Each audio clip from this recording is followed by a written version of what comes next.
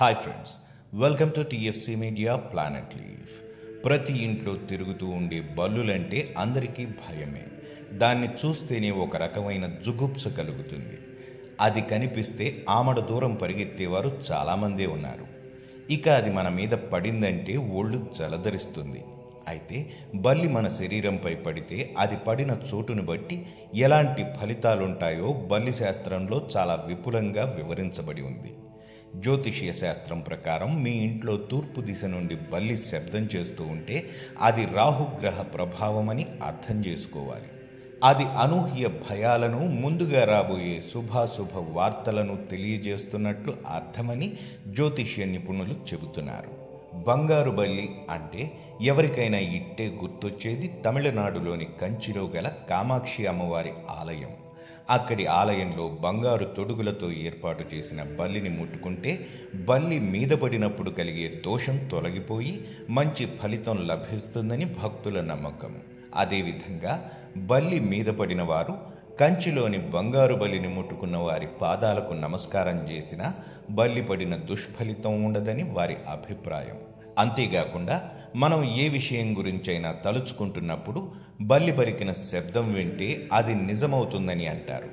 బల్లి పలికినప్పుడు మన పెద్దవాళ్ళు కృష్ణ కృష్ణ అనేవారు. కంచిలో నెలకొని ఉన్న బంగారు బల్లి గురించి ఒక పురాణ గాథ ఉంది. గౌతమ మహర్షికి ఇద్దరు శిష్యులుండేవారు. ఎప్పటిలాగానే శిష్యులు కుండ పట్టుకుని నదీ తీరానికి వెళ్ళి నీటిని తీసుకొస్తుండగా అందులో బల్లి పడింది. శిష్యులు అది గమనించుకోలేదు.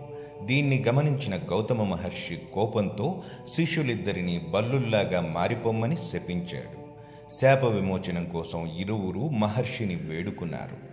కాంచీపురంలోని వరదరాజ పెరుమాళ్ ఆలయానికి వెళ్ళమని అక్కడే పరిష్కారం లభిస్తుందని ఆ మహర్షి సూచించారు.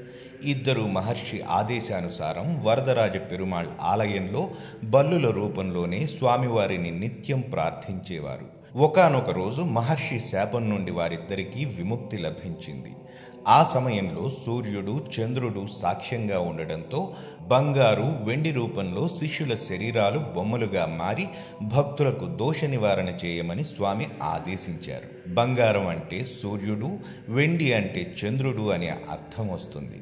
సరస్వతీదేవి నుండి శాపం పొందిన ఇంద్రుడు దోష నివారణకై పెరుమాళ్ ఆలయంలో బల్లులను ప్రతిష్ఠించినట్లు మరో కథనం కూడా ప్రాచుర్యంలో ఉంది.